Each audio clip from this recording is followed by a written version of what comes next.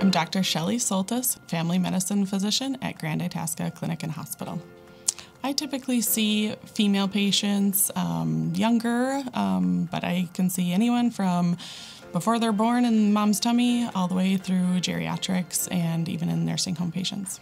Relationships are important in our everyday lives. Uh, they contribute to the health we have or can contribute um, to our unhealthy habits as well.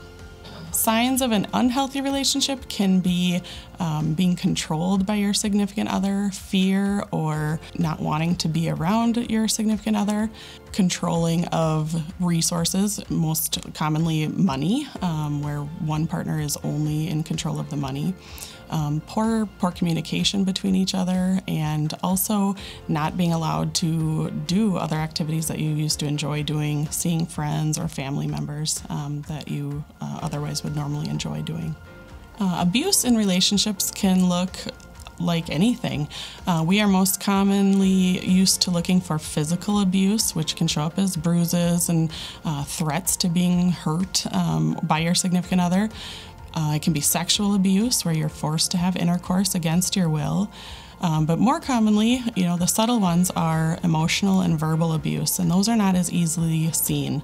They can be um, that control um, of resources, money, um, not being allowed to leave the house, restricted from participating in certain things with friends, family members, and also just being called names as well.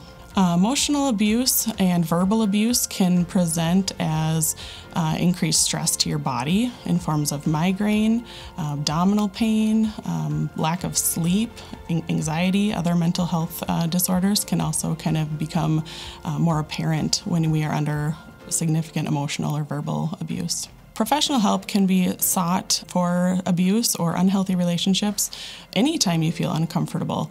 Uh, if you know that your relationship is going in the wrong direction with bad communication, um, sometimes it's better to get ahead of it, have counseling, and turn that relationship around to become an, a healthy relationship. If you are in the abuse situation, we ask that you get uh, professional help sooner than later, um, especially if you feel like your safety, if there's children involved, their safety is, um, is at, um, at risk. Uh, if you have a friend that's being abused, uh, we recommend being there to be uh, a help for them. Um, you know, taking your time, being a listening ear, help with transportation, watch their children um, if they're getting help.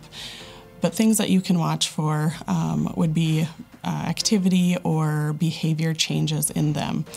The other important thing is if you are close with them, you can be their safety person create a word or a phrase or a safe time to talk with them privately, and so that they are able to um, let you know if the relationship is actually taking a turn for the worst. If you are a victim of domestic abuse, um, there are multiple ways to get help.